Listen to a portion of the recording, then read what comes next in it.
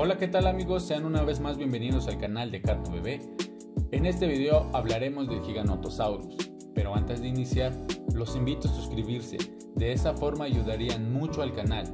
Además, no olviden activar la campanita para que YouTube les notifique cuando suba un video nuevo y ustedes sean los primeros en verlo. Y por último, si el video es de su agrado, los invito a dejar su buen like y sus comentarios. Ahora sí, comencemos.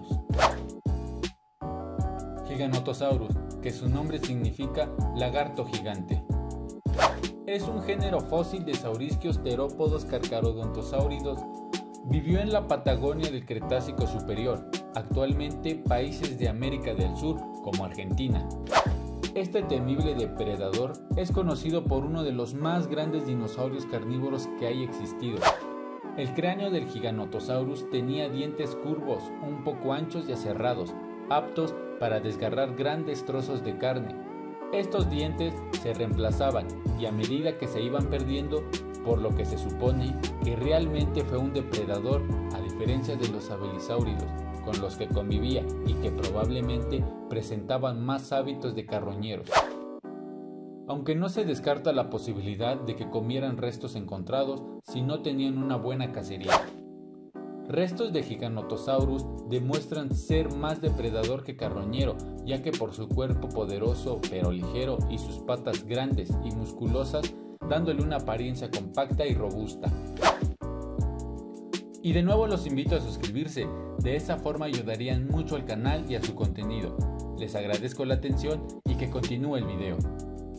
Su cola larga y musculosa le daba equilibrio a su cuerpo al desplazarse, al igual que los alosáuridos, haciendo de los gigantosaurus unos depredadores masivos, enormes y rápidos. Especializado dar caza a presas de mediano a gran tamaño, se ha calculado que podían desplazarse a 25 km por hora.